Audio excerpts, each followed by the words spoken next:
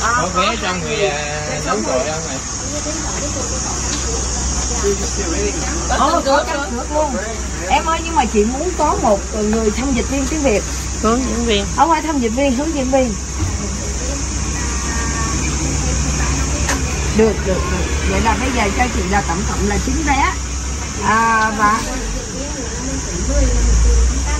Rồi một triệu năm trăm nhưng mà có hai người à... Rồi, có hai người cao tuổi.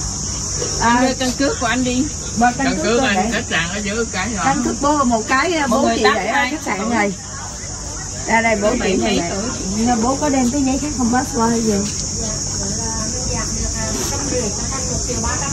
Ờ rồi vậy chị. Để mẹ trả. Luôn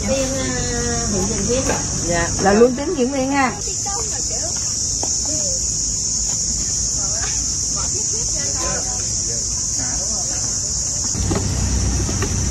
bà ngoại tự đi một mình. Nhanh quá. Hà Nam dẫn mẹ. Anh bà dẫn ông ngoại. Ở đây người ta soát vé nè mà bé Hà nói bắt đi lên à sợ mẹ lên giống con chạy qua bên kia? Ở đây vé nè. Bà đưa vé đi vé đâu ai giữ vé. Con giữ con giữ.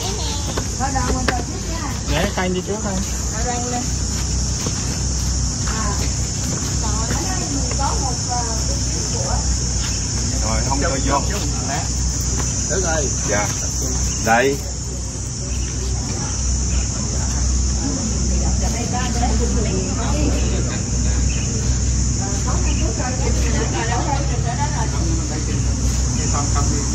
Ôi trời rất là hiền thức tôi biết vậy tôi mua cho cho bảy mươi mấy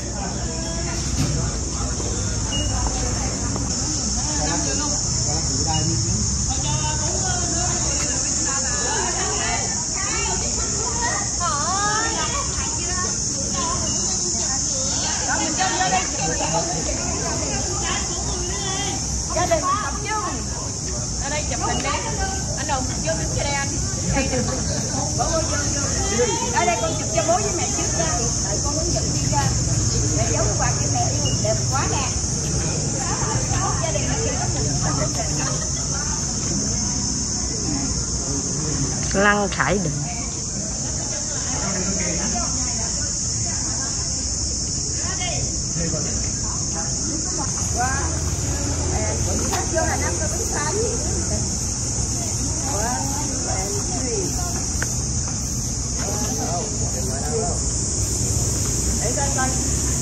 em muốn diễn viên ơi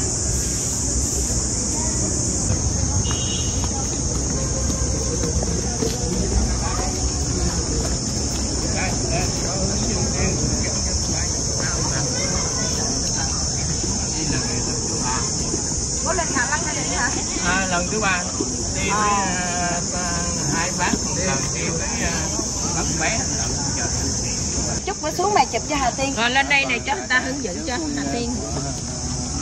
Wow. Em ơi cho chị chụp đây tắm nữa nha. Em gái chụp chụp tụi chị vô đó. Em chụp cho cả nhà rồi cả nhà vô nè. Hà vô luôn nè. Chín người mình. Chưa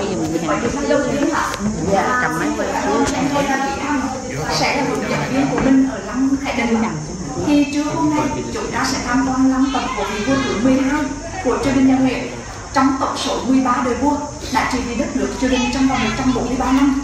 Tuy có 13 đời vua, nhưng mà ở Huế chỉ có 7 lăng thôi ạ. Bởi vì có những vị vua mất khi còn nhỏ tuổi, hay là vị đau sẽ bị thì chưa kịp xây dựng lăng mộ cho mình. Cho nên vua Hạ Đình là vị vua cuối cùng có lăng ở Huế. Chứ không phải là vua Bảo Đại, con trai của ngài. Vua Bảo Đại thì lúc giai đoạn sẽ tân ai năm 1997 và ngày thọ 83 tuổi, và ngài được an táng tại Pháp, chứ không có những tập ở Huế. Cho nên vì sao em nói đây là về lăng mộ của vị vua cuối cùng, có lăng ở Huế là vì thế. Và vua Khải Định, ngài lên ngôi vào năm 1916 bốn năm sau đó, ngài đã cho xây các lăng mộ cho mình. Lăng mộ ở đây không đơn thuần chỉ là nơi chôn cất thi hài đâu ạ, mà đây còn sẽ là nơi làm việc, sinh hoạt của nhà vua khi còn sống và sau khi mất, mới bắt đầu chôn cất và thờ tự ở trong này. Cho nên vì sao lại chú trọng xây lăng khi còn sống là vì vậy ạ?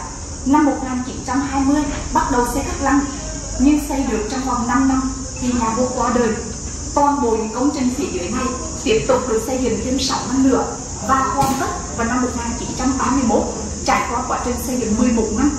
Thì có những người nói rằng lăng tầm này diện tích rất là nhỏ, nhưng lại mất đến 11 năm ạ bởi vì có lẽ khi mình nhìn vào kiến trúc đặc biệt của nơi này hay là nguyên vật liệu xây cất lăng ngày xưa xây lăng cho các vua thường sẽ xây bằng gạch và bằng gỗ. Nhưng mà trong lăng mộ này xi măng sắt thép đã có ạ. Vua khải định đã cho người sáng tạo mua các loại nguyên vật liệu như là xi măng sắt thép ngói ác đoa rồi lại cho người đi thuyền sang trung quốc và nhật bản để mua các loại đồ gỗ, sành sứ và thủy tinh màu để xây dựng nên công trình lăng tầng cho nên kéo dài thời gian 11 năm mới hoàn tất và khi chúng ta nhìn vào kiến trúc của lăng mộ này, chúng ta thấy rằng kiến trúc này rất là độc đáo ạ. Bởi vì ngày xưa, những lăng tầm sẽ được xây dựng theo kiến trúc cung đình nhà Nguyễn. Nhưng tại nơi đây là kiến trúc phương đông và phương tây, hài hòa và trong lăng mộ. Bởi vì lần đầu tiên nhà vua Thái Định sáng phạm và nhà vua quá trộn ngược với kiến trúc của phương tây. Và sau khi trở về nước, đã áp dụng ngay vào lăng tầm của mình như chúng ta quan sát. Và ngày xưa khi chọn mặt đất xây các lăng, vua thái Định đã chọn xây trên núi ạ. à núi này xưa có tên là núi Châu Trừ sau này vua đổi tên thành núi Ứng và đặt tên công trình này gọi là Ứng Lăng, tức là lăng mộ tương ứng với ngài. Nhưng mà Ứng Lăng được xây dựng thành năm tầng sân, càng ngày càng lên cao. Mình có thể hiểu con số năm này tượng trưng cho ngũ hành, kim, mộc, thủy, hỏa thổ hay là tầng thứ năm sẽ tượng trưng cho yếu tố sinh ạ. Sinh là đầm tự sinh. Thì chúng ta vừa đi qua hai tầng. Tầng đầu tiên, gia đình chúng ta sẽ bắt gặp có hai ngôi nhà bố trí trái phải gọi là tả hữu tung từ. Đây là nơi dành cho nhà vua. À, xin lỗi đây là nơi dành cho bà con trong võ để các nhà có thể chỉnh đốn lại trang phục chuẩn bị tổ sự của mình. Có tên là tả hữu tung từ. Sau khi nhà vua mất đi rồi hai công trình này sẽ trở thành nơi thờ tự của các quan còn tầng thứ hai người ta gọi đây là sân châu ạ với những hàng tường đá. Đây là những hàng tường được đúc theo tỷ lệ người thật. Đúng theo tỷ lệ một một dưới thời của nhà vua Khải Định ạ chúng ta nhìn các ông thì nhỏ, nhưng đây là chính là kích thước một một lúc bây giờ và tại đây sẽ có hàng lĩnh hồ về, đừng có thể sau lưng cả quan những lăng khác thì không có. Và cách sắp xếp những lăng ở những cái tường đá này không phải là một nhé ạ. Thực ra con bò chỉ được trọng dùng khi mà chiến tranh nổ ra. Còn cái cốt lõi nền tảng của nước nhà vẫn từ những vị quan văn. Trong chiến trần ngựa được sử dụng nhiều hơn voi, cho nên mới có thứ tự sắp xếp lần lượt. Văn trước, võ sau, ngựa trước, voi sau trong toàn bộ sân châu của các vị vua nhân việt đây là ý nghĩa của tương đá ở trong lăng tầm còn vị trí này ạ à, có lẽ khách hay nhầm lẫn nhất. Đây chỉ là phần bổ của ngài nhưng mà với một cái tổng bia thì đấy không phải là nơi đặt phần bổ của gia đình mà tổng bia này thường sẽ do con trai tài vì việc để ca người công đức của vua cha mình lên trên tổng bia này. Vua mình thật sự ra thì có nhiều khách hay nói rằng vua khải định là vua bù nhìn do pháp dựng lên thì ngài làm được gì cho trường nhân nguyệt hay đất nước việt nam. Nhưng mà chúng ta phải đặt theo dòng chảy lịch sử. Các vị vua nhân nguyệt đều có sự đóng góp cho triều đình, nhiều hay ít mà thôi. Như chúng ta biết những vị vua đầu tiên như vua gia long lập nên vương triều nhân nguyệt, thống nhất đất nước từ bắc vào nam. Vua minh mạng lại mở rộng kiến thiết đất nước. Thiều trì vua từ đức lại là những vị vua thi sĩ yêu thơ, đóng góp cho Huế rất nhiều bài thơ nổi tiếng. Còn những vị vua yêu nước chống pháp, hàm nghi, thành thái, duy tâm có lẽ khi người ta nói vua đông khánh, cha của ngài, thật ra vua đông khánh, cha của vua khải định chỉ vì đất nước chỉ còn được ba năm thôi. Nhưng khi ngài lên ngôi, ngài vật để niên hiệu là hàm nghi vật là một niên hiệu của vị vua yêu nước chống pháp. Thì trong tâm tưởng của nhà vua đông khánh, vẫn mang tư tưởng yêu nước. Nhưng trong giai đoạn bất lực của thời cuộc thì nhà vua không làm khác được các bạn và khi lên ngôi, ngài có công lao lớn khi mà ban giao về pháp để chuộc lại tất cả những cổ vật trong giai đoạn thất thủ kinh đô Huế từ năm 1885 quay trở lại cho Việt Nam. Cho nên đó là công lao của vua Đông Khánh cha của vua Khải đình, con vua Khải đình. chúng ta phải nhớ đến công lao của ngài khi ngài cho xây dựng trường nữ sinh Đông Khánh ạ. Nhưng mà ý nghĩa của Đông Khánh tức là Đông là cung Khánh là vui việc pháp cùng vui. Cho nên sau giải phóng trường đã bị đổi tên lại là trường Hai Bà Trưng. Hiện tại đang nằm trên con đường lê lợi dọc dòng sông Hương ạ. Và ngài cũng như các vị vua nhân việt người giả ra bắc để mở kỳ thi vào năm 1919 quay trở về Huế, mở kỳ thi cuối cùng, chấm dứt chế độ khoa bạc phong trị nhân Nguyễn nhưng mà có lẽ ấn tượng về vua Hải Đình, đó là ngài như một kiến trúc sư tài ba. Ngài đã để lại cho Huế rất nhiều công trình đặc biệt và tiêu biểu, mà tâm đắc đối với ngài, đó là ứng lăng. Chính là lăng mộ là nơi yên nghỉ vĩnh hằng của nhà vua. Cho nên chúng ta phải nhìn khách quan một chút. Suy nghĩ khách quan là không phải nhà vua không đóng góp cho triều đình nhà Nguyễn hay người ta luôn nhận xét vua là vua bù nhìn đúng không ạ. Chúng ta phải thông cảm cho cái hoàn cảnh lịch sử lúc bấy giờ. Và ngài đã trị vì đất nước trong vòng 9 năm, sống thọ 40 tuổi. Chúng ta cứ nghĩ 40 không phải là lớn, nhưng trong triều đình nhà Nguyễn, như vậy là mạng nguyện rồi ạ. Cho đến năm 40 ngài đã tổ chức lễ tử tuân đại khánh tiết tức là mừng thọ 40 của mình. Và qua đời không lâu sau đó, không phải là do ngài mừng thọ sớm mới qua đời ạ, mà do sức khỏe của nhà vua không còn được tốt nữa sau cái chuyến công du từ phương Tây trở về Việt Nam, đồng thời ngài là con mà chỉ vì được 9 năm, sống thọ 40 tuổi ngài cảm thấy hơn vua cha của mình, đó là điều mà người nói rồi. Cho nên được gấp rút tham lễ mừng thọ và qua đời không lâu sau đó là vì lý do này ạ và bây giờ để biết được chính xác phần mộ của ngài thì có một gia đình chịu khó đi thêm ba phần nữa. Mình sẽ đến tầng cuối cùng nhé ạ xong, mình sẽ đi được câu hỏi là dạ vua đang có mấy đời nữa dạ vua có rất ít vợ 12 bà thế ạ. Không nghe vũ 12 bà đó. Bây giờ người ta bảo một ba là khổ lắm rồi đấy ạ. Chả chẳng mới đến ba thứ hai đâu. 13 12 bà là chị nhớ hồi đó lâu lắm rồi biết là mấy con phụng rồng này là lỏ đá cẩm thạch luôn hay là vô trong phải trên chỉnh biên ở trên tiền nó có. Mình xuống rồi mình nhưng mà lăng khẳng định là ít bị tàn phá nhất dạ chính xác ạ lăng này chỉ mới xây dựng thôi đứa nào muốn chụp hình ở đây không con? đứa nào muốn chụp cổ cho nên cơ bản sẽ còn miếng vàng rồi cho đến tranh thủ tham quan. À, lên trên chụp ảnh sau. Lên trên đó tham quan chốc được gia đình mình sẽ đựng vào cái điện chỉnh ở bên ngoài. Rồi em sẽ chụp cho gia đình mình. Ok.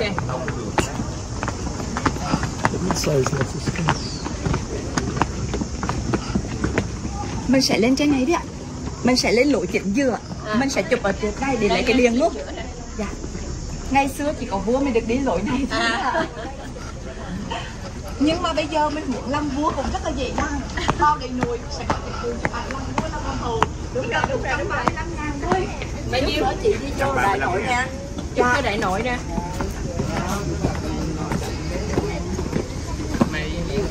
rồi à, giá linh ơi đợi một chút xíu ạ. cho khách chụp xong rồi xong rồi. đứng đây chụp.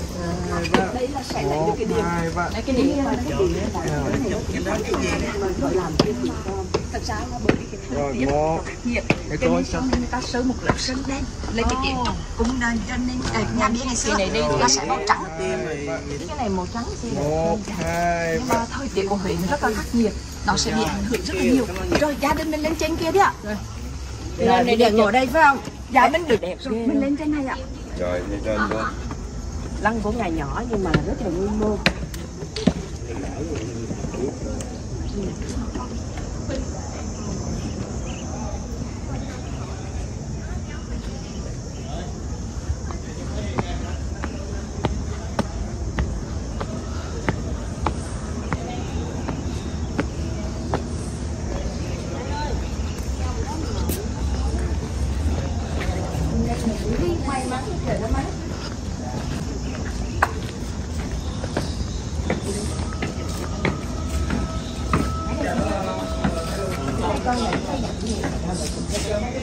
vô hai đứa đến hà hà xích ra hà chị chụp cho cho cho rồi Hà, rồi vũ sát vô tí nữa con.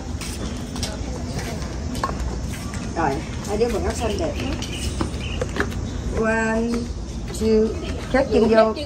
vũ rồi qua one two and three. Mẹ chụp nửa tấm nữa nha.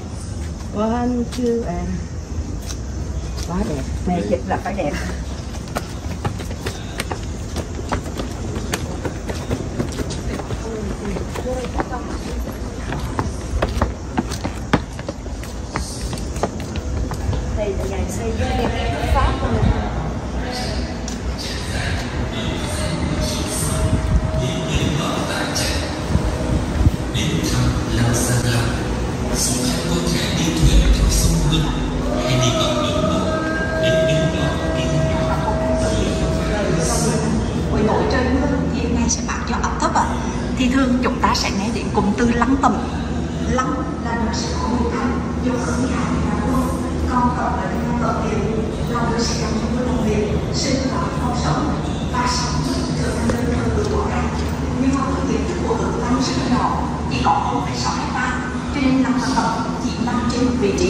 vậy là cung thiên đình mà chúng ta đang vào ở đây.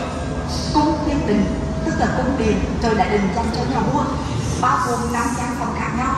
Ba gian phòng trong này người ta gọi đây là điện đại thăng khi mình vào một cái công trình chính, mình sẽ thấy có một cái bức hoành phí ạ. Đó chỉ là tên gọi của công trình hải thăng điện đây là nơi thờ tự và chúng ta khai của nhà vua ở bên trong.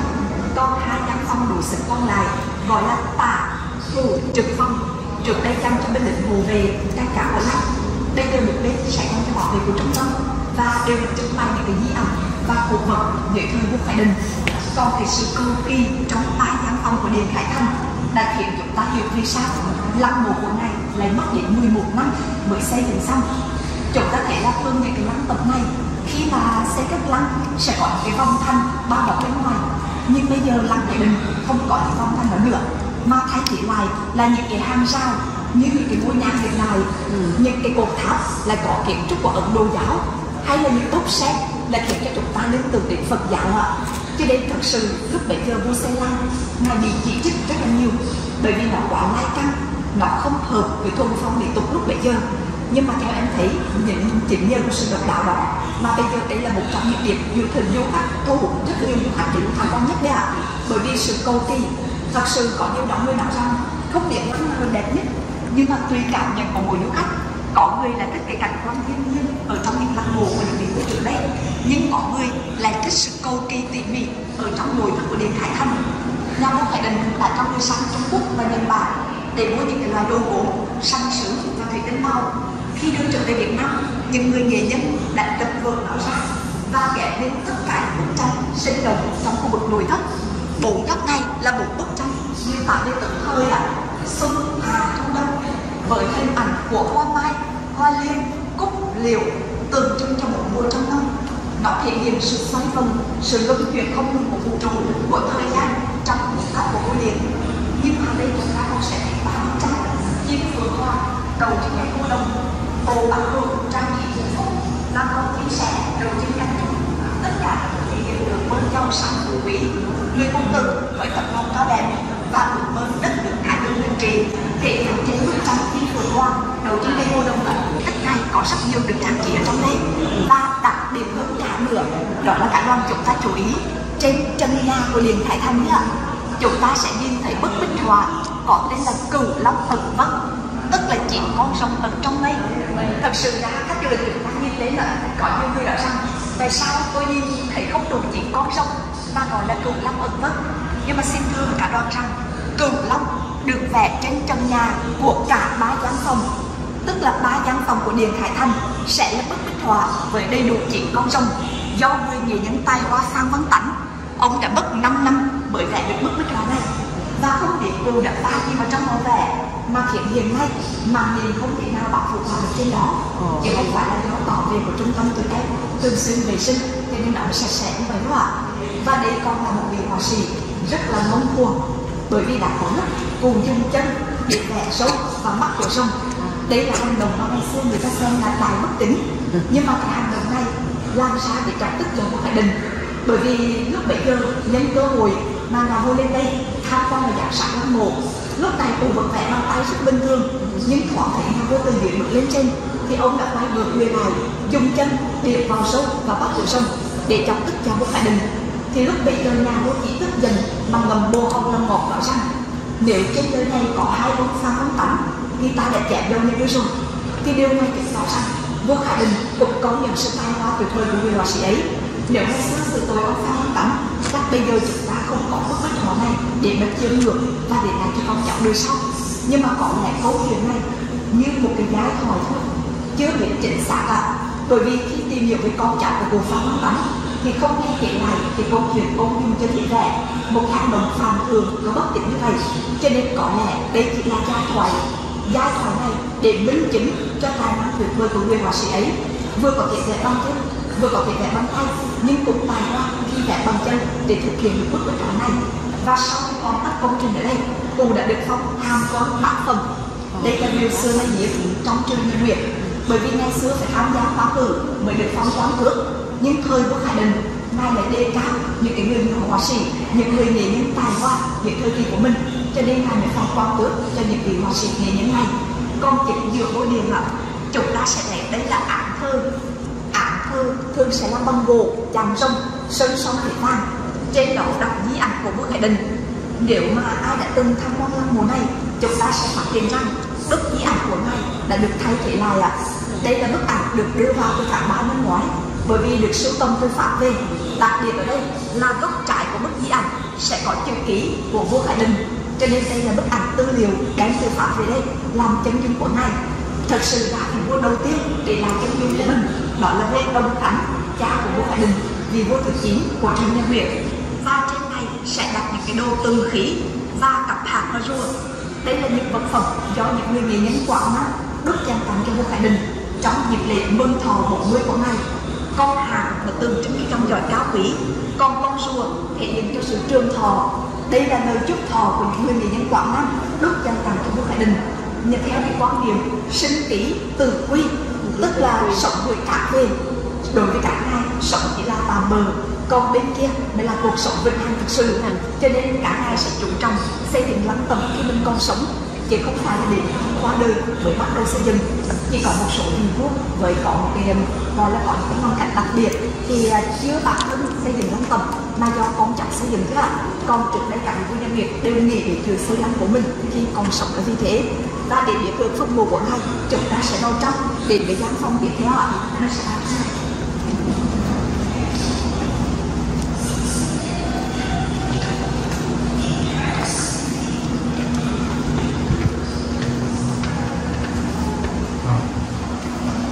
Theo quy định đó 11 năm, còn quả là điểm để xây dựng được kiến trúc tuyệt vời như thế này.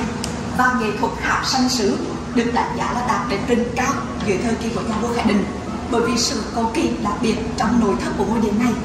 Giám phòng thứ hai đây là nơi đang đặt bức tượng đồng do hai người pháp đúc trang tặng cho vua Khải Định theo đúng tỷ lệ một một đối với kích thước của nhà vua bức tường sẽ được đặt trên ngai vàng trên ba tầng cấp khảo sanh sứ.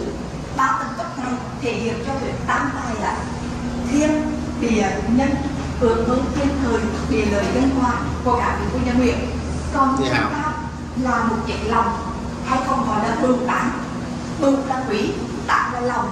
Đây là một chiếc lòng đấy ạ.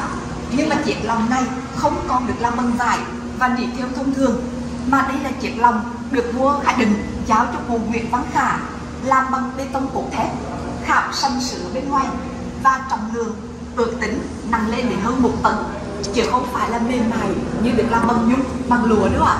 Và chúng ta cảm thấy rằng rất là tài hoa những người nghệ nhân xưa đã đạt đến đỉnh cao.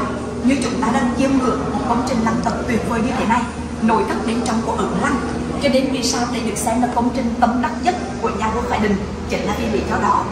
Và sâu những bức tượng Đông này, gọi là huyền cung. Đây là nơi an táng thi hài của ngài. Thường những lăng tầm khác chúng ta sẽ không biết chính xác nơi trong đất. Bởi vì các chúng ta không nhớ những cái giai đoạn lịch sử, như thời Tây Sơn bao Trung một Huệ đã từng là bới mù của cha vua Gia Long vớt xuống dòng sông Hương để rồi khi nguyện Ánh vua Gia Long đăng quang lại trả ngược tương tự, cho nên rất sợ lịch sử lặp lại điều này.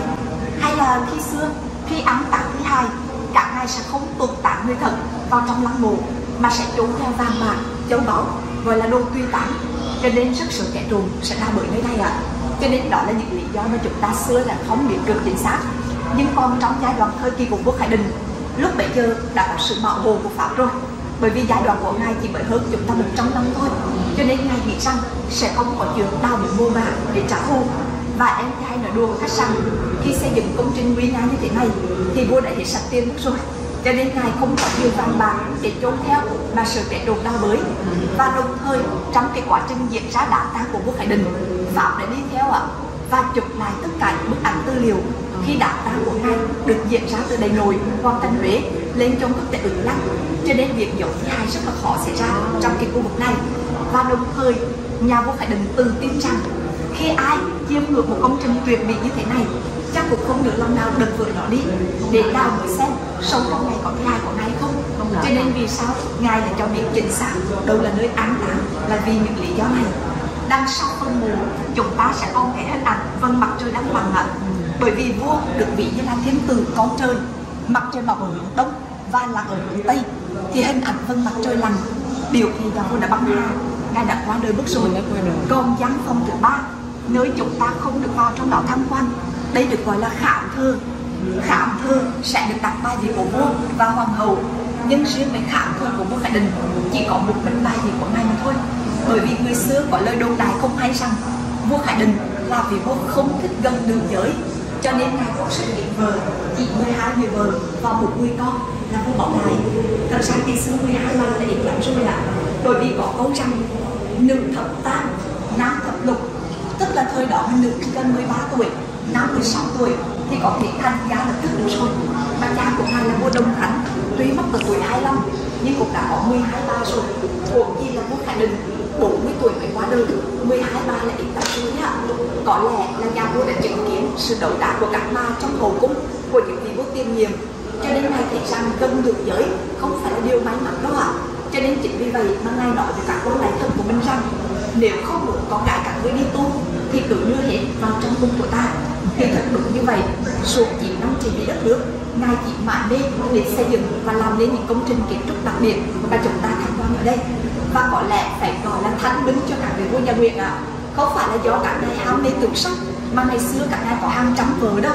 Mà bởi vì khi cả ngài mở mang tôi cõi người ta dâng con gái mình cho nhà vua như một hình thức tiền cộng vậy.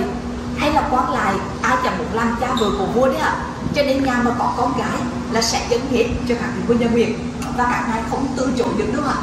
phải nhận hết tất cả vào trong cung. Cho nên số lượng của ngài mới nhiều như vậy. Chứ không phải là do các ngài ham mê tưởng sắc ạ ở không vậy đó dạ đúng rồi ạ. Thật ra là làm phi tân với thời cả vua không phải là sung sướng. Bởi vì chưa chắc các bạn đã được gặp mặt nhà vua hay biểu huống gì là nói đến chuyện sủng hầm là rất là khó khăn. Cho nên làm phi tần của cả ngài chứ phải là sướng sướng. Và điều đặc biệt cuối cùng ở trong này, đó chính là những lãng hoa. Mà chúng ta có thể ở đây ạ, tự nhiên là mới được đưa vào. Nhưng đây là số lãng hoa đã được pháp đi trong đạo đạo của một thái đình đạo ở đây thì năm 1925 cho đến bây giờ. Không phải là hoa tươi đâu ạ, mà đây là hoa được làm từ đồng và kèm làm từ kim loại cho đến vẫn còn tồn tại cho đến ngày hôm nay. Thật ra trước đây con sẽ có những cái giải truy bằng bằng lùa nữa. Nhưng thời gian 100 năm thì lùa đã bị một đạn đã rồi. Cho nên chỉ còn là những làng hoa thôi. Và sẽ có một số mảnh xanh sự phía dưới đã được tung tu lại rồi ạ? Bởi vì nó bị rơi vỡ.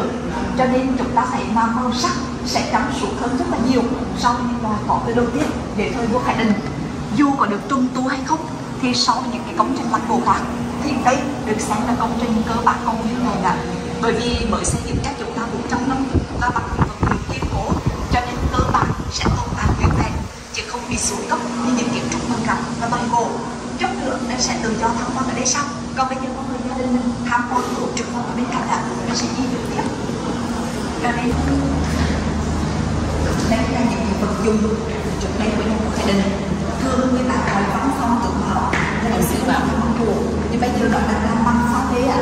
Bởi vì ngày xưa của gia đình chùa những cái vật đó. Pha lê cho nên chúng ta thấy rất nhiều tượng trưng bày đấy và đây là chúng ta đã công việc trong việc tân cảnh của đại lộ Huế. Nhưng xuất hiện chiều nay lo đại nội những cái công trình này đã bị diễn trong văn hóa rồi rất là đặc biệt. Và đã không phù ở đây đều tạo danh làm trong hải đình trong dịp lễ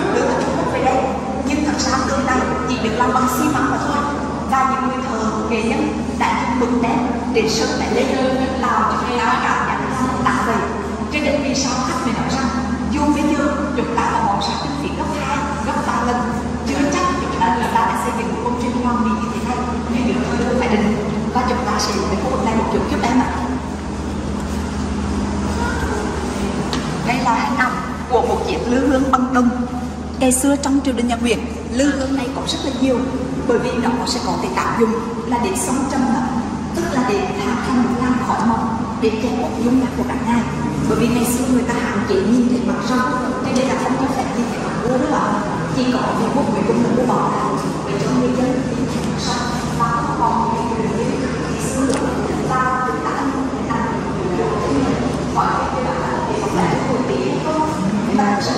là quan trị trên những ả đối với con mình chỉ có không phải là vua Nguyễn Bỉ đâu và trước đây đây là những ấn ảnh về đạo tăng xin là tử tuần đạt khải tiếp tức là mừng thọ bây giờ sinh nhật hay là mừng thọ chúng ta tổ chức một hai ngày thôi nhưng mà ngày xưa lễ mừng thọ đó tổ chức hơn nửa tháng mà tổ chức rất là quan trọng và ngày xưa thời gian của gia đình ngài được xem cô những những người bạn pháp sống bên cạnh của đất nước và nói rằng mỗi lần gặp con nhưng lại có con đế của họ bên trong.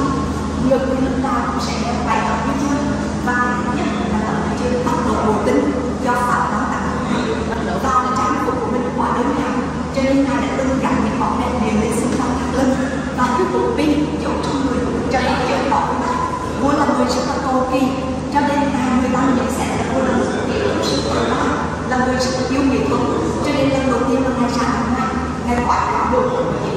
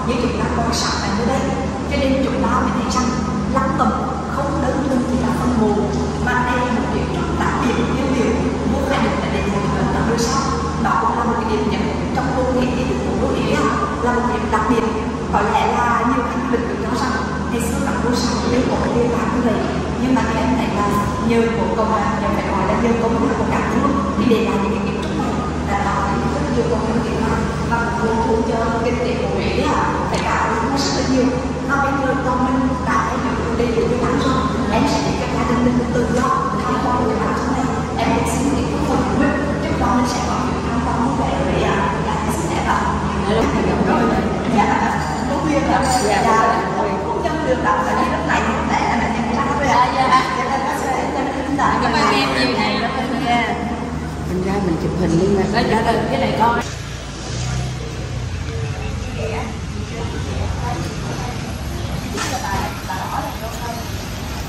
rồi bây giờ cho em hai con bánh đẹp trước đi rồi à, cho em à, à, hai cái mâm bánh mặn nè. Rồi trước đó đi rồi cho em một cái bánh lọc lọc lá hay là lọc lọc lá? Lọc lá hả? Có có lọc lọc không? Không. vậy cho em à, hai bèo hai à, cho em ba bèo. Ba bèo à, hai con một lọc lá. Rồi trong kia. À, à, không nó nói nó ăn cơm rồi nó chờ mình nó ăn cơm chứ. Hai cái này. Chưa tài xế nó không ăn. nó nói nó ăn cơm rồi. Rồi vô vô vô con gọi liền mà rồi mẹ không gọi cái gì mẹ gọi ở đây có bánh bèo mẹ nhang bánh bèo với cái con thôi.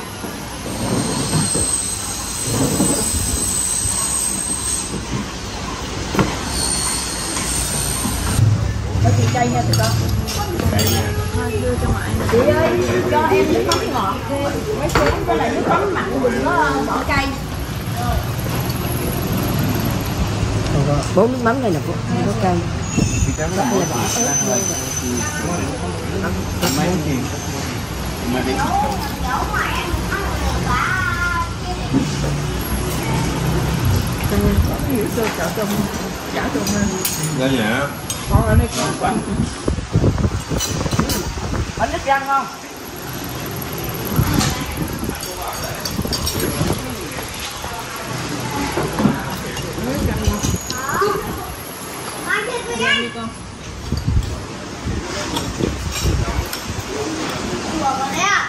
anh chung thêm nước mắm nó làm bánh nước cam nữa coi nữa nha không bạn hay không mẹ cho con ăn được cái mẹ Rồi, con tự ăn con tự lấy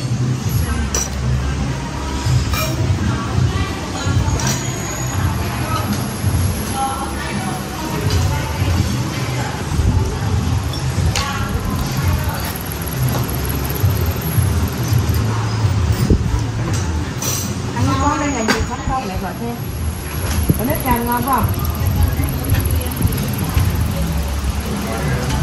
bánh nậm con gọi ba đĩa tại Hà Tiên với bà ngoại con ăn bánh nậm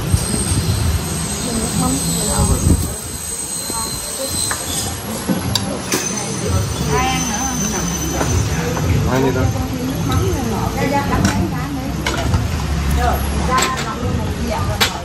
Dạ, lọc một dĩa thôi.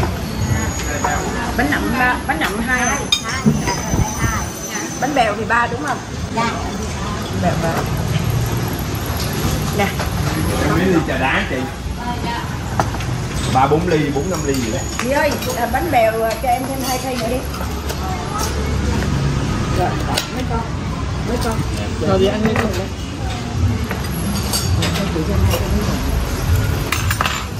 Được vé hà mấy Năm lượng